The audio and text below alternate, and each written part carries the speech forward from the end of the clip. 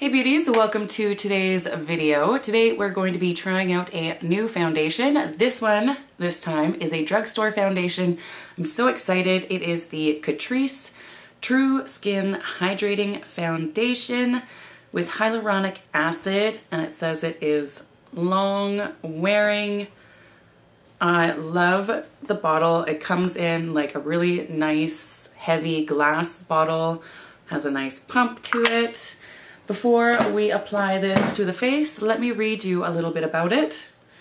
I think it comes in 18 or 20 shades. It retails for $11, which is super cheap. It says, enhance your true skin with the Catrice True Skin Hydrating Foundation. This long-wearing vegan foundation has medium buildable coverage that gives your skin a natural, real skin finish ultra light foundation texture that melts into the skin for a real skin finish. It's formulated with hydrating hyaluronic acid and watermelon seed oil. Medium to high coverage, buildable and long wearing, available in 20 shades. It is cruelty free and vegan. And that's what it says. So I'm pretty excited if it works as good as it says it does, I mean, for $11, you can't go wrong. Anyways. Oh, and also, did you guys notice the hair? I chopped it all off. It is springtime and I was done with the long brown. So I took out my extensions and chopped her off bleached it all out. I still have to tone it and things like that. If you guys want to see how I tone out the brassiness, then let me know and I'll film that video. Also, we'll have some fun styling short hair videos coming up, so stay tuned for those. But the reason we're here today is this foundation. So if you want to see how it wears and applies, keep on watching. I do already have my face primed. To do that, I use the Peter Thomas Roth Skin to Die For No Filter Mattifying Primer. This stuff is almost empty. I'm trying to finish it up. And for my under eyes, of course, I use the Becca Anti-Fatigue Under Eye Primer. You guys know I love this stuff. But now for the fun part. Ooh, my lid just came off. Now for the fun part, let's get into this foundation. I'm using 030 Neutral Sand.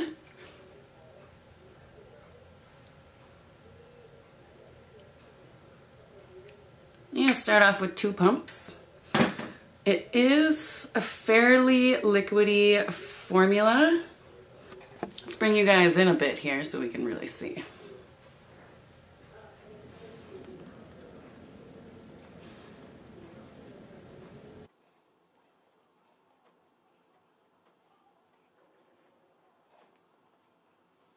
That's actually covering quite nice.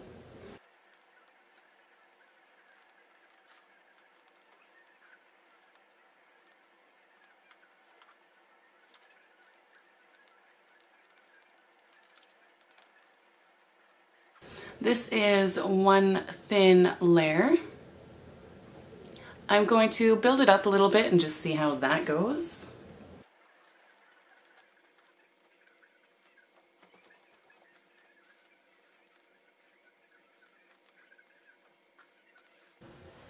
I could have showed you guys the time. It is 9.55 in the morning. This is what it looks like built up a little bit. I think it's sitting on the skin really nice. I'm going to go in with some concealer and then set it all. For that, I'm going to use the Anastasia Beverly Hills Magic Touch Concealer in the shade 4.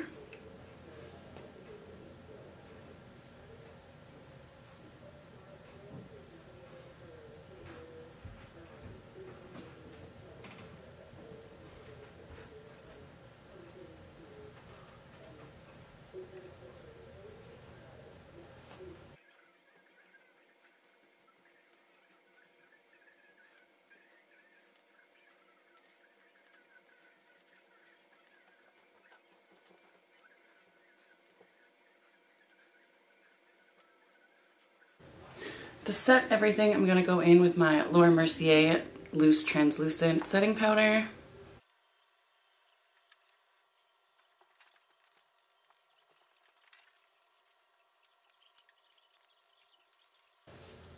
This is what it's looking like with the concealer and the powder. I'm going to jump off and finish my face on camera and then I'll be right back. All right, you guys, the rest of my face is on except for the eyeballs because I did receive the new Oden's Eye uh, Hella palette. This is with Angelica and it looks beautiful. I'm going to be filming with this later on today. So that's why my eyes aren't done yet, but you will see the look throughout the day in one of my check-ins. Anyways, this is what everything is looking like right now. It is, the rest of my blush, bronzer, highlight is on. I did set it all. Everything is looking quite nice. I will show you guys here in the window in natural light so you can really see and then I'll do a check-in later on. But yes, so far it is looking fantastic and for $11. All right, I will see you in some natural light. All right, guys, this is it in front of the window in some natural light. Again, I think it just looks beautiful. It is sitting on the skin so nice. It's not creasing up anywhere yet. I'm excited to see how this wears throughout the day. So I'll be back later. All right, guys, it is 5.40. So that means if I put it on at 10 this morning, it's been on for what, seven and a half hours-ish? Let's, let's see how it's going so far. Let me zoom you in. going to remove the spectacles. Of course, right away, we can see where the glasses sit. That is just how it is. There is no getting around that. The rest of the face is looking nice. I am starting to get a little shiny. You can see in my cheek area and my forehead a bit, I am getting a little shiny we are going to powder it up just a little bit. For that, I am going in with the By Terry Hyaluronic Hydra Powder Palette. This is in fair to medium. I'm just going to mix the top two shades together with my Rare Beauty powder brush. And we're just gonna pounce this into the skin. Nothing fancy, not taking my time.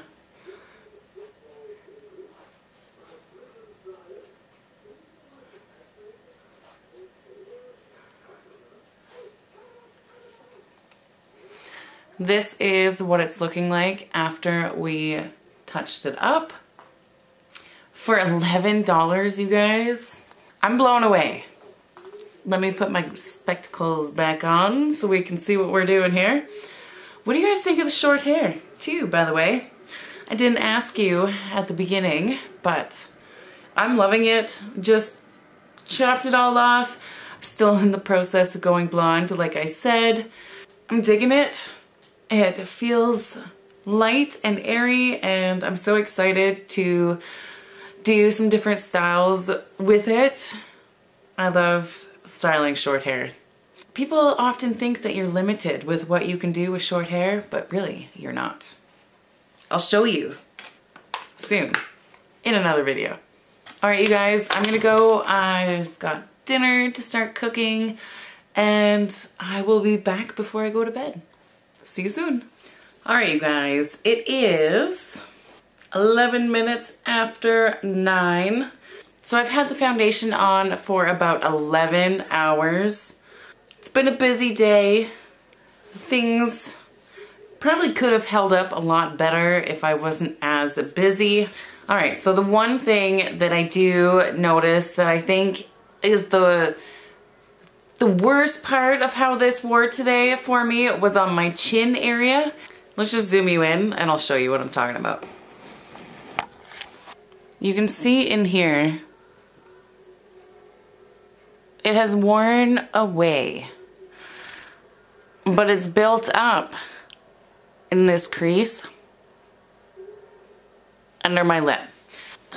And other than where my glasses rub away, we did touch up a couple hours ago and I am starting to get the same oils back in my cheeks and my forehead there. But really, everything else is looking still quite nice. And I mean, for $11, I pushed a good 11 hours wear out of this foundation for $11. And do you guys remember, wasn't that long ago, I reviewed the new Makeup Forever HD Skin Tint Foundation? I had to touch this up in the five hour mark and it was already breaking away.